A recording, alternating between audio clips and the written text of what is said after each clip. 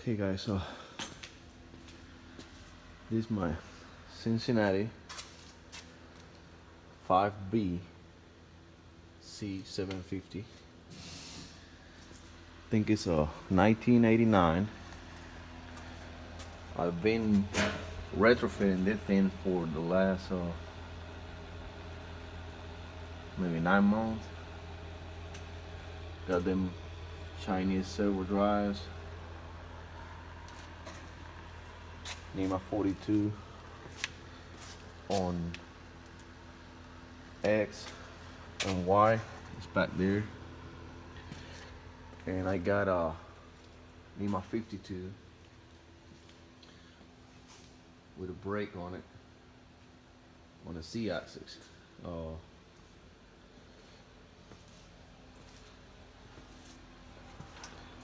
cleaned it a few days ago.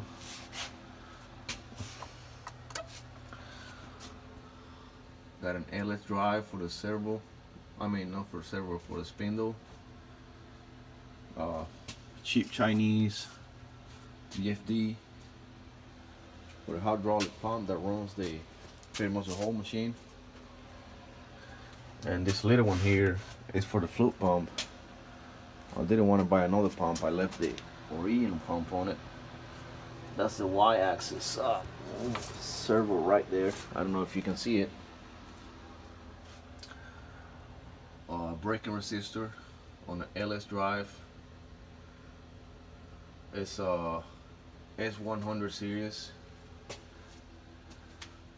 15 horse. Uh, I'm only using, uh, I think it's a, yeah, 5.5 kilowatt motor. I think it's like seven horse or something like that. That's full power. Uh, I think it uh, goes from 3.7 to 5.5 kilowatts and I had all my inputs put in. I got Sam I don't know if you know him uh, he's got a YouTube channel. And he's doing the macros and the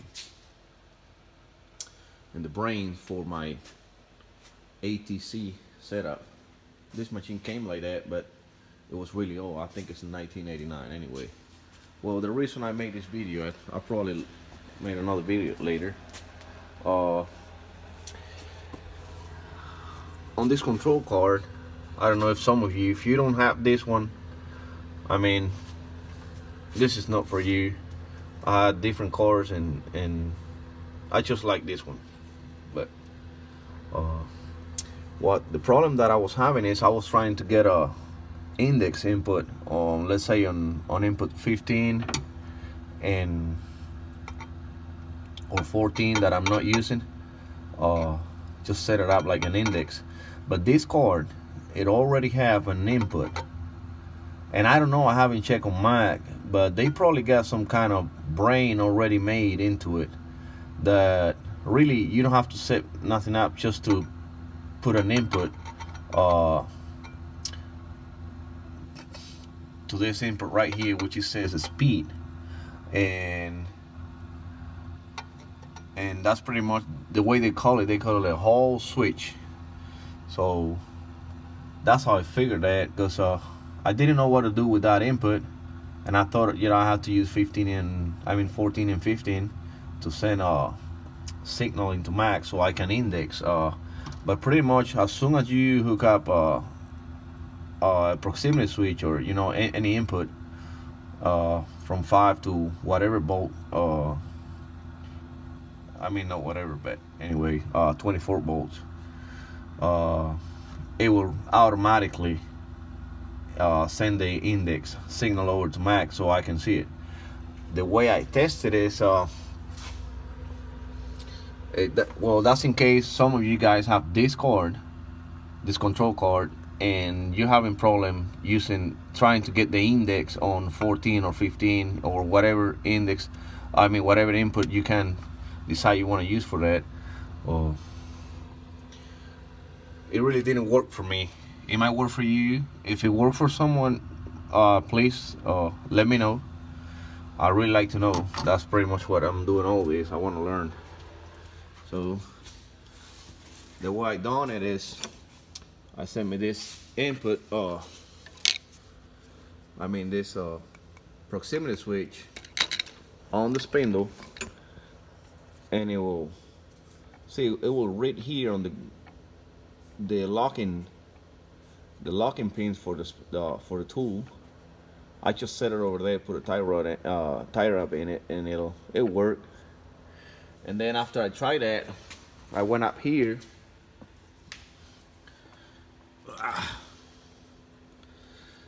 and took the the encoder wheel that he had on it because he had a lot of pulses and I don't think Mach is gonna read uh, that many pulses that he had. And uh, and just sent me this uh maybe this kind of this came out of I don't know a spacer washer or a big washer that I had over there I put it on the lathe and and and took uh kind of machine the inside so it will kind of press fit on the shaft. And then just got one of those proximity sensor which I already tested and I know it works down there on the on the spindle. And and try it. Ugh. I really didn't try uh, to use this which this was the wheel that was back there on the on the motor shaft with uh, okay. The encoder sensor I guess if you can call it like that. It was set up up there. But this is a 5 volt and it's a high uh, an active active high so it will send a high voltage when uh, you know when it read the signal. And that card that I'm using it's have to be an NPN so pretty much that this card here is looking for a low uh so a low input like ground pretty much if you want to send a signal to it. Uh yeah well that's what I got for you. Uh if you want to use that card you got to use a NPN sensor. That's what work with them. It could be either one of them and active low or high. I'm trying to go with uh with low so I always send a low to the card that's what she's looking for. And I don't go crazy trying to set it up. And and this what I done. Machine the inside cut these grooves on the other mill and uh, and that's what it's doing there. So I just got to put the core back in and it should be alright uh, again this is a, a Mach 3 setup. I took all the computer uh, all PLC and computer whatever it had. It used to have tapes in here like when you open this it will have tapes and that's what it runs some kind of old school thing. And this is a setup I've been doing uh, right where the tape uh, thing used to be.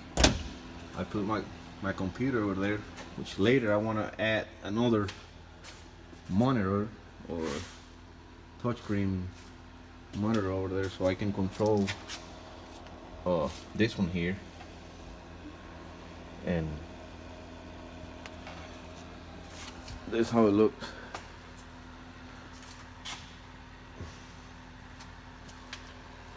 You you guys probably know this screen set. Uh,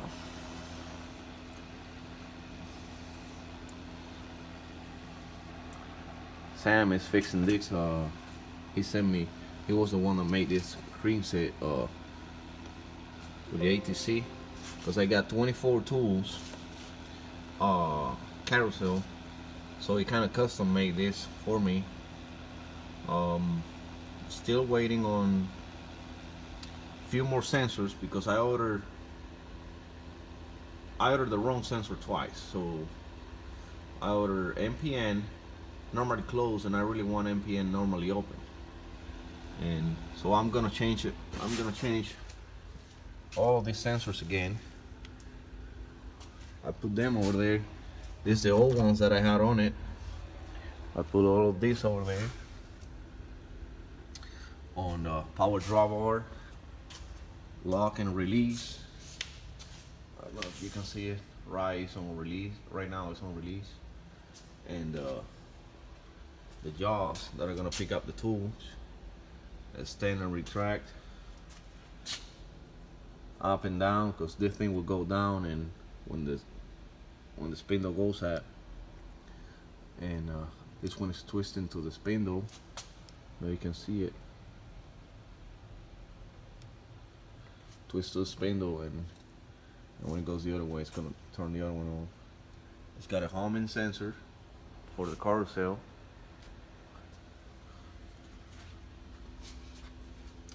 It's got a speed sensor or pretty much position sensor on the hydro motor that runs the spindle I mean runs the carousel and it's got a locking pin that locks the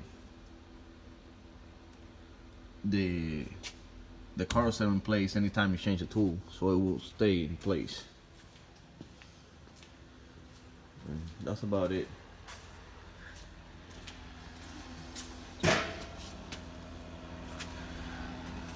I'll probably make another video when I get it running. She's already running, but I'm just trying to finish some, some stuff.